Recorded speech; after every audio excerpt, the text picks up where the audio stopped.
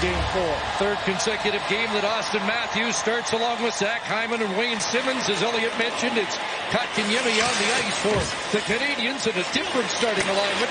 Doesn't get through. Adam Brooks. Here's Spezza all alone. Home free. And Carey Price squeezes the pads and makes the first tough stop of the night. Numbers in the middle of the ice. Gets behind everybody, and this one's going five. Sent wide of the net.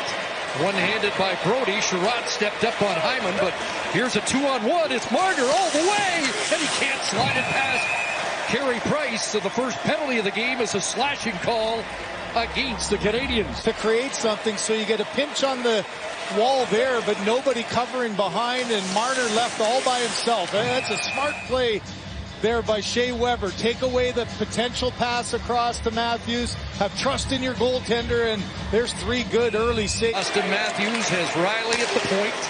Rasmus Sandin out tonight. Great move. Marner, another shot right on as he looks for his first goal of the series and his first in 15 Stanley Cup playoff games.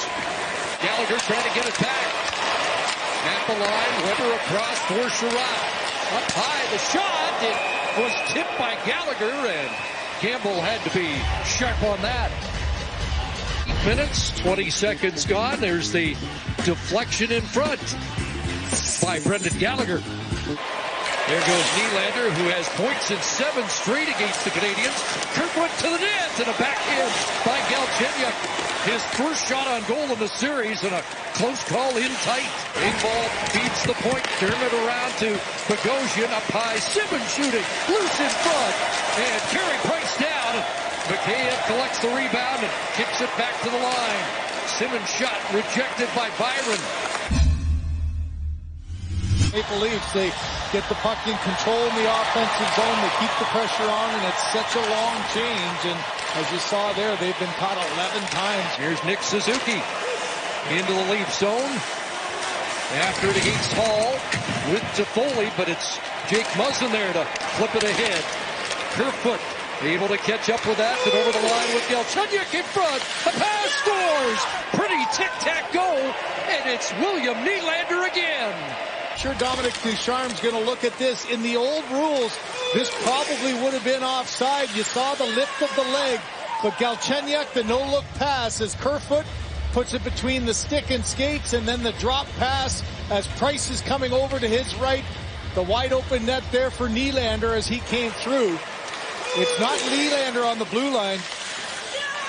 It's Galchenyuk lifting his skate but keeping it back, that was the key play. Toronto bench is the Maple Leafs make changes and Corey Perry speeds back. In front it goes. Campbell down and a stop off Eric Staal as the Canadiens come close. All zone, so a quick up by Weber.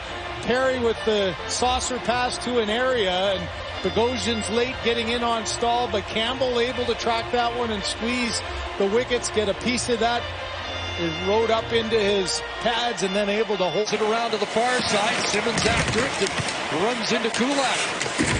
In ball, his pass cut off. Here's Toffoli from behind the goal line and a short side stop for Campbell. Thought he might have been able to find a man in front. Good forecheck there by a pinch of the D and then inside up position on Rielly. Tried to go short side as Campbell kept himself anchored to that side.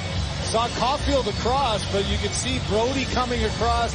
The Canadiens' goals in the regular season, fifth highest percentage in the league. Auston Matthews led in that department.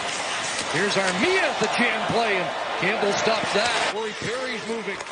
You kick it back for Armia. Band on the shot. Petry moved up, unable to come up with that. And he's caught. Galchenyuk over the line, flips it, drop scores! What a great pass from Galchenyuk. And Jason Spezza makes it two to nothing. To Galchenyuk does a good job of taking it deep, and this saucer pass just perfect. You could see the reaction of Carey Price. Price thought he might have been able to get there, but off the glove and up and over. As all Spencer's trying to do there, look at him turn the blade of his stick and just chip it up and over. It's not even getting much on that, just making sure it gets up. And you think for these veteran players, a playoff goal doesn't mean something. Toffoli tries to center that. And now Thornton's going to take over with a half minute left with the second power play of the night for Toronto. Drops it off. Kerfoot on the move. Spezza Thornton scores. Joe Thornton on the redirect.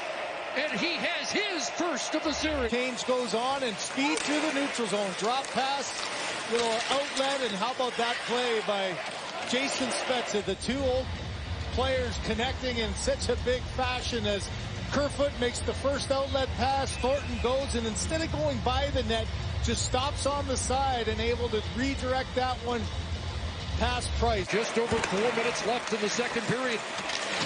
Across for Caufield. Here's Edmundson right on. And Jack Campbell has got that. Game four without any offense yet from their top unit. Auston Matthews might change that. Spinorama and a dangerous backhand stopped by Price. Well, those goals start to build momentum, and it so often it goes right to your legs. And here's Matthews trying to join the club there. That one rattled around between the legs as Price sliding across. Thornton tried to chop it in, unable to do so, but Brooks follows up with speed.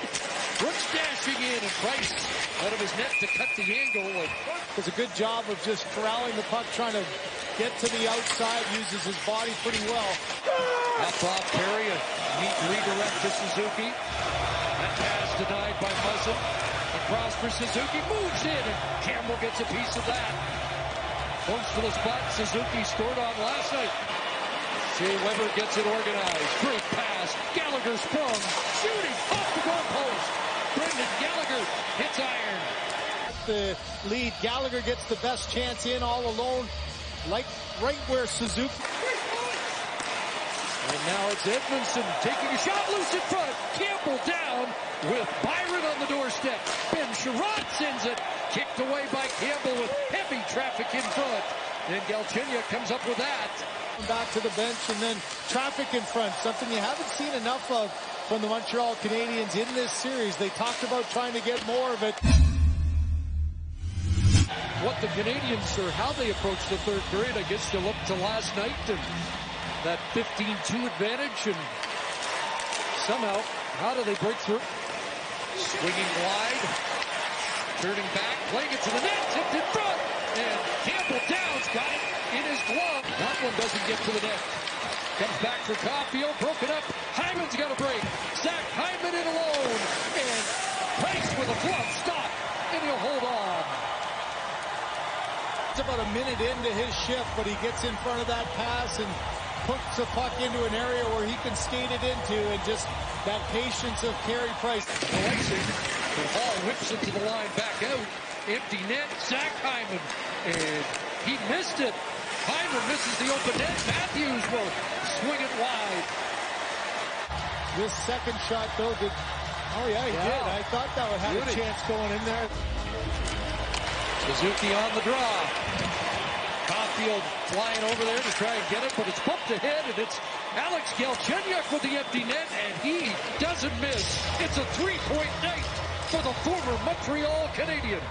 Along the wall, keeping this play alive. He gets in it, chips it past Petry, and this combination has really worked together. You know, you think about how much different this lineup looks. And Jack Campbell will register his first Stanley Cup playoff shutout, and the Leafs have pushed the Canadiens to the brink here in Game 5 on Thursday night.